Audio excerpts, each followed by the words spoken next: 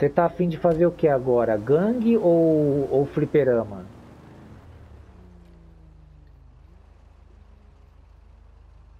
Ai, caramba, passou um passarinho verde aqui, que legal, meu. Vou clipar isso.